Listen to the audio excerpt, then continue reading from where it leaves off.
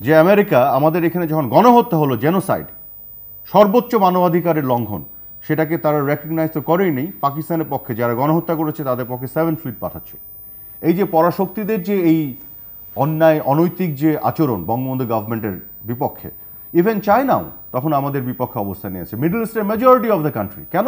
বঙ্গবন্ধু কেন একটা অসাম্প্রদায়িক জনকল্যাণমুখী কল্যাণ রাষ্ট্র, আধুনিক রাষ্ট্র তৈরি করছেন? পাকিস্তানের মতো একটা অশুভ রাষ্ট্র থেকে বের হয়েছে এই বিশ্ব বাস্তবতাটা আপনাকে দেখতে হবে ইকোনমিক বাস্তবতাটা দেখতে হবে। তেলের দাম দশ গুণ বেড়ে গেল। বাংলাদেশের মধ্যে যে অরাজক অবস্থা এই জাসদ তৈরি করে একুশ বাইশ বছরের বাচ্চা ছেলেরা মানে মার্কসের গণ, সমাজতন্ত্র এনাফ না, এটার মধ্যে আবার বিজ্ঞান ঢুকাতে হবে।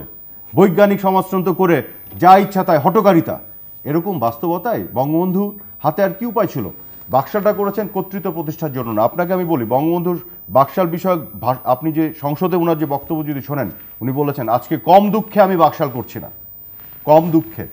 এবং উনি বলেছেন এটি সাময়িক ব্যবস্থা। এবং সবচেয়ে বড় কথা কি জানেন স্বপন ভাই?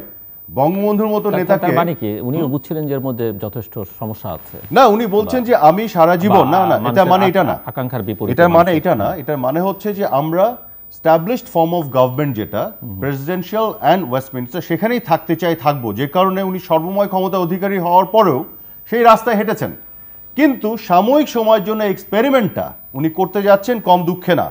সেটা উনি ব্যাখ্যা করেছেন ওই বাস্তবতায়। আর- আমি সর্বশেষ একটু বলে নেই। এই যে আরেকটা অপপ্রচার করা হয় কর্তৃত্ববাদী কেন বঙ্গবন্ধু ক্ষমতা কুক্ষিগত করতে চেয়েছেন? এখনকার মাইন্ডসেটের আমি আসছি ওখানে। বঙ্গবন্ধুর মতন একজন নেতা তার তো ক্ষমতা কুক্ষিগত করা লাগে না। ওনার কোনো পদের দরকার নাই, বঙ্গবন্ধু প্রধানমন্ত্রী হওয়ার দরকার নাই। উনি যদি কিচ্ছু না হয়ে শুধু থাকতেন he was still the most powerful person in the country এবং এটার প্রমাণ সাক্ষ্য কে দেয়? বঙ্গবন্ধুর ঘাতক নিজে। এই চ্যানেল ফোরের সাথে একটা ইন্টারভিউয়ে বঙ্গবন্ধুর একজন ঘাতক বলছে যে, প্রথমে আমাদের পরিকল্পনা ছিল, আমরা বঙ্গবন্ধুর বাসায় অ্যাটাক করব, করে ওনাকে গ্রেফতার করব। কু করার জন্য গ্রেফতার করে ধরে এনে ওনাকে ক্ষমতা থেকে সরাই দেব। পরবর্তীতে আমরা দেখেছি যে বঙ্গবন্ধুর মতন এই যে, যেটা একজন ঘাতক অ্যাডমিট করছে রেকগনাইজ করছে ওনার স্ট্যাচারের নেতা as long as he is alive উনি যতক্ষণ জীবিত ওনার চাইতে ক্ষমতাবান এই দেশে কেউ নাই। উনি ডাক দিবে বাংলাদেশের মানুষ চলে আসবে। এবং তাকে হত্যা করা ছাড়া আমাদের কোনো উপায় ছিল না। এই হত্যা করা ছাড়া উপায় ছিল না বলার মধ্য দিয়ে যেটা তারা প্রতিষ্ঠিত করছে, তার ঘাতক, শত্রুপক্ষ বলছে, মিত্রপক্ষ না, যে উনি এত বড় পাওয়ারফুল একটা মানুষ।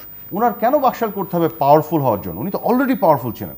উনি বাকশাল করেছেন জনকল্যাণের জন্য। আজকের বাস্তবতায় বাকশাল টেনে আনাটা বোকামি। কেন আপনাকে আমি বলি? বাকশাল পদ্ধতির মধ্যে যে ডেমোক্রেসি ছিল, মুগাবের শাসনে সেই ডেমোক্রেসি ছিল না বহুদলে জিয়া রহমানের শাসনে সেই ডেমোক্রেসি ছিল না, হানা ভোটে। আপনার সোহার্তের শাসনে যে ইন্দোনেশিয়ায় সেই গণতন্ত্র ছিল না। মেক্সিকোতে দ্য সোকল বহুদলীয় গণতন্ত্র সেই ডেমোক্রেসি ছিল না।